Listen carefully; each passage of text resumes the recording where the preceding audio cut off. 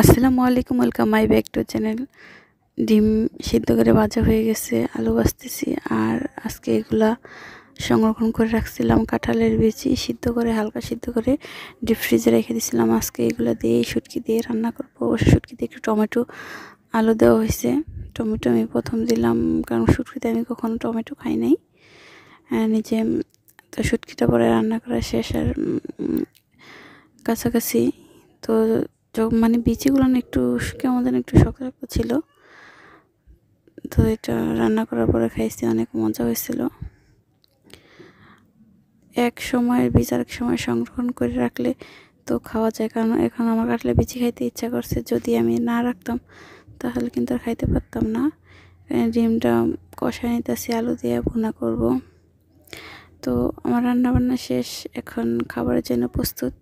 দেখুন, শুটকিটা কিন্তু অনেক লোভনীয় এবং দেখা যেতেছে তা আমি আবার একটু, বলে যেন একটু ভিডিও করি। গরম ভাতের সাথে গরম গরম শুটকি খাইতে মজাই আলাদা। আজ এই শুটকিটা ঝাল বেশি দিছি। আর এখানে পরে আবার আমরা শানকে জারিফকে ডাক্তার কাছে নিয়ে গেছিলাম। তাতে ডাক্তার রোড রোড ক্যানেল করবে। এই কারণে তো ও তো মানে অ্যানেস্থেশিয়া যখন সুইটা দিবে ও দিতে দেয়নি।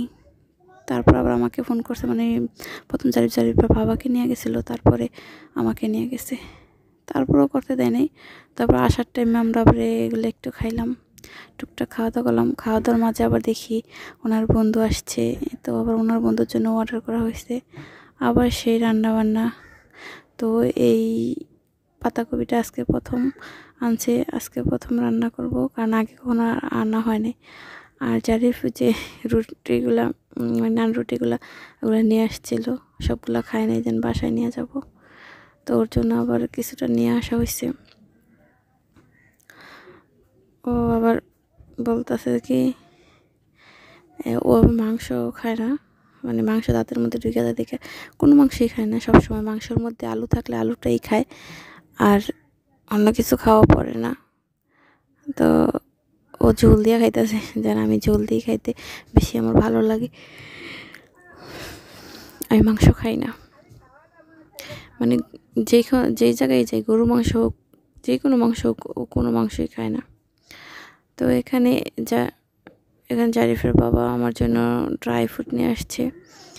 কিন্তু ড্রাই ফ্রুটের মধ্যে দেখতেছি আনারসে যেটা খাইছে এটা আনারস। তো এখন আমার আন্দাজ করা ঠিক না। তারপরে এখানে পেঁপে আবার আরও কি নাকি সাকুরা খাওয়াটাও নাকি ঠিক না তা জানি না। তো এখন এগুলো খাওয়া বন্ধ করে দিচ্ছে আর শাহিনের জন্য নতুন ব্যাগ নিয়ে আসছে। শাহিন খুব খুশি। বিস্প্রিট যার নাম বিস্প্রিট এখানে এখানে দেখা বিস্প্রিট দেখাও দেখি। বি লেখা। স্প্রিট। বি স্প্রিটে যে যেমন বি স্প্রিট। রসুন আলু দেশি আর ইন্ডিয়ান রসুন আলু। কাঁচামরিচ ধনিয়া পাতা টমেটো দুই কেজি ফুলকপি একশো সিম এক কেজি ছুটকি পেয়ারা। মিষ্টি কুমড়া কাঁচাটা। মূলা দেড় কেজি। বিয়ে সাথে বাজার করে লে আঙ্কাল তো এমনই করা লাগে। এটা কি? ও চিংড়ি মাছটা? চিংড়ি মাছ পঞ্চাশ টাকা। মুরগি মাংস। রাখো এটি কাইটটা কাইটাই রাখুন। মুরগি মাংস। তিন কেজি সাতশো টাকা। রুই মাছ দুইটা আড়াইশো টাকা। পেঁয়াজ চার কেজি একশো চল্লিশ টাকা।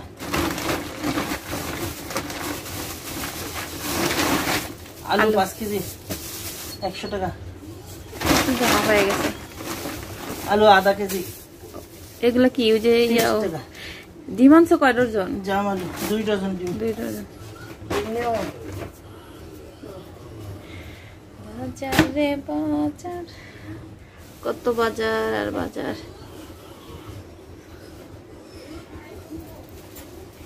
যে ডিম আন্ডা। দুই ডজন ডিম। ডিম কত করে রাখছে? ডিম একশো চল্লিশ।